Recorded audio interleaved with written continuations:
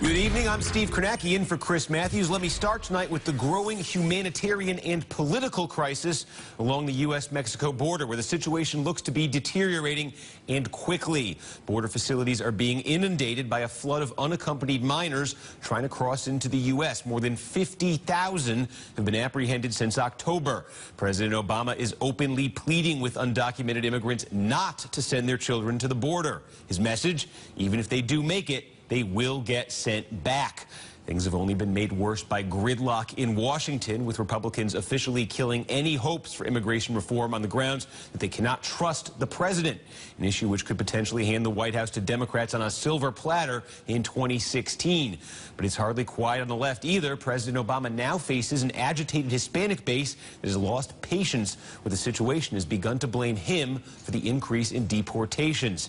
Everyone and everything seems to be near a breaking point, and things got a little scary yesterday afternoon when crowds of anti-immigration protesters surrounded three buses that were attempting to transport roughly 140 undocumented immigrants to a processing center in Southern California.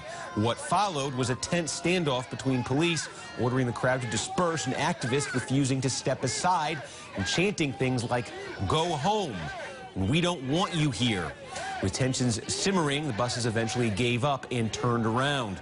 The situation only growing more tense. You might be seeing a lot more of those kinds of confrontations.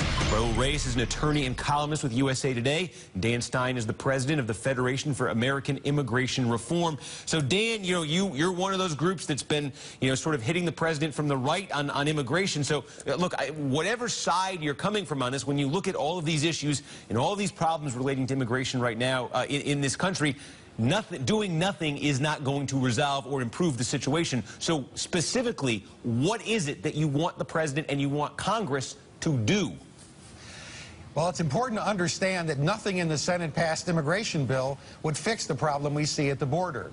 In fact, the president has said we need Congress to fix this Victims of Trafficking Act because it, it, creates a level of procedural process that actually allows smuggling and cartel operations to abuse the process, and that's what's going on here. There's out, outright manipulation. Well, so, so, so, so, okay, but so specifically, there's there's a, two issues here. Let's start with the children at the border, the children, you know, trying to bring them to these processing uh, facilities. Right. What do you want? Are you just saying, hey, turn around, send them home? That's it? No questions asked? No hearings? Well, look, the, the, ultimately the executive has broad emergency powers. They need to hold short hearings very quickly at the border and repatriate people within 48 hours.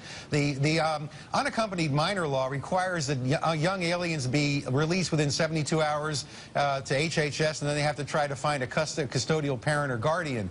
But that law that Senator Feinstein was the architect of never envisioned this kind of crisis.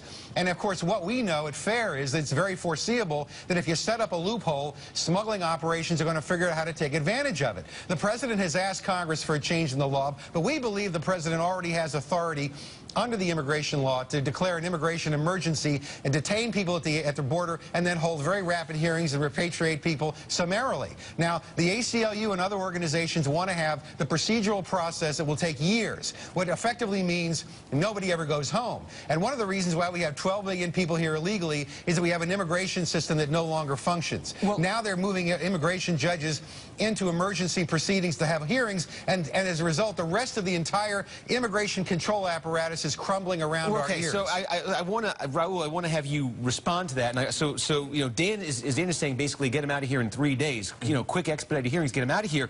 There's an argument to be made here, though, looking at where these children are coming from, the countries they're coming from. Isn't there an amnesty argument here? Isn't that part of the procedure that we're talking about? Certainly, not necessarily amnesty, but uh, many of these children, because they are asylum, uh, excuse me, uh, asylum, asylum, because they're coming from the such violent, yeah. from such violent co uh, countries, they they could be eligible for temporary protective status, uh, refugee status, asylum. The the president is seeking to change this law with Congress, and we'll see how that plays out. But aside from that, there's another compl complication. The U.S. has multiple, multiple multiple international agreements with nations all over the world, specifically relating to children and asylum and refugees. So even if Congress did say and grant the authority, pre the president authority to send these children home, we couldn't do it without being in violation so, yeah, so, so Dan, so Dan, so Dan, what do you what do you say to that? Though? I mean, because the United States has existed for so long as this is a place, you know, the, the people, you know, fleeing trouble spots around the world, people fleeing life-threatening, you know, a, a political upheaval or whatever around the world can come to the United States. It, it, it save their lives literally. Isn't there a case to be made here when you look at the conditions in some of these countries? Look, this is obviously a manipulated crisis. The president needs to lead, and he needs to reassure the American people that as the Um, I mean, executive wait, and commander in manipulated? chief, uh, Wait, wait, manipu- manipulated it's crisis. being manipulated by cartel, cartels and smuggling operations. They want the Border Patrol to be changing diapers and being distracted so they can run drugs through the border. This whole thing is being orchestrated. It's not normal for young people to be coming across the border unaccompanied unless it's being manipulated. Nothing about the situation in Central America has so radically changed that it would represent uh, a major ch cri uh, ch crisis of that kind. Ultimately, the president has created the crisis by sending a message around the world. U.S. immigration law is not being enforced. We're going to pass a big amnesty. The deferred action for childhood arrivals has been interpreted to mean if you're young and you get in, you won't have to leave. And then, of course, he's now talking about more executive, unilateral executive action. So- so- you can't keep sending a message around the world that our immigration laws aren't going to be enforced and not expect people around the world All right, to take I- advantage of. it. Ra- I know Raul wants to respond to that. I want to hear what you want to say there, Raul. Well, uh, a, a couple things. First of all, this whole narrative that they, it, it is true that the cartels are promoting a type of uh, disinformation, misinformation campaign to, to facilitate these kids getting here. But the whole notion that, that because of that, that it's the fault of the Obama administration that this is happening, is that is completely false. Now, you have to remember, many of these young people, these are, these are kids. These, these are kids who are five, six, seven, eight. They, they don't know one thing about our immigration system. No one told them anything about DACA. They, they just did what their parents told them to do because their parents are so desperate for them to get a better shot, you know, leading a safe and productive life. And it's interesting because Mr. Stein was just saying that the pre he wants the president to take unilateral action, that he needs to act. And yet at the same time, he's saying that if the president does do something, it'd be a violation with his executive action. So it seems a little bit inconsistent that he wants him to act, and yet if he does act, he says that that's a violation of the law. I, I do want to ask you this though, because the the the, um, the, the argument here about you know uh, not just sending you know the kids back, not just sending the undocumented kids back, um, it does raise the question: if if they are let in, if a substantial number are let into this country permanently, doesn't that encourage it? How do you say no to the next wave? How do you say no to the Right. wave after that? That's the challenge that our president has right now. I think, you know, obviously it's an evolving situation. I think he is doing the right thing, going to Congress, trying to thread the needle between what he can do on his own and also working with these governments in Central America because we have to attack that part of the problem as well. But what does not help, help this, this whole crisis is on the Republican side, they're really not doing anything other than finger pointing, grandstanding, blaming for the president for the situation. Very little in the name of solutions. And to me, I have to say, when I see, see these images of the people yelling at the bus and screaming, go home, I think pretty much most reasonable people would agree with me. That's not America. That's not who we are as a nation. That's a, a group of misguided people. And, and by way, just as a counterpoint, in Texas, which has been the, because it's, South Texas has been where so many of these kids are entering, that's the largest point of entry for these unaccompanied minor. In Dallas, uh, this has been reported in the Dallas Morning News, the city has been flooded with offers of, you know, charitable uh, offers, religious groups, clothing, people who want to help. And these are not necessarily Right, no, there are- right, there are- there are people just- who are against just reform, but wanting- look at the- at they the- just the look human at side that of these are children you know, fleeing for their lives, and Yeah, they but want to listen, help. Right, the, well, the problem is Cong Congress set up a specific law that now has an elaborate financial process for j- uh, children who are judged abandoned. That means public education, health care, housing. This is clearly a sap to the taxpayer. How does this crisis help public education? Going to help American people actually meet their domestic priorities? We cannot be the home of last resort for all the world's displeased and dispossessed. Well- the, the administration has to recognize it's time to stop playing politics with our immigration policy. This idea of polarizing the Well, Hispanic well, uh, electorate at the expense of our I- I sovereignty wanna- I wanna- control I wanna has broaden the- stop. I want to broaden the conversation out here, too, because we are talking about the broader subject of immigration as well. The crisis on the border has forced President Obama to denounce the sudden influx of undocumented children, as we say, forcing him to sound more like an immigration hawk than the dove that he is. This is the president in an interview with ABC News on Friday. Once those kids come across the border, there's a system in which we're supposed to process them, take care of them, until we can send them back. It's So is, lengthy is process. your So message we've- don't come? Oh, our message absolutely is don't send your children unaccompanied uh, on trains or through uh, through a bunch of smugglers. That is our direct message to the families in Central America. Do not send your children to the borders. If they do make it, they'll get sent back. More importantly, they may, may not make it. And on Monday, he doubled down on that message. The children who are fortunate enough to survive it will be taken care of while they go through the legal process, but in most cases, that process will lead to them being sent back home. I've sent a clear message to parents in these countries not to put their kids through this. And understand, by the way, for the most part, this is not a situation where these children are slipping through.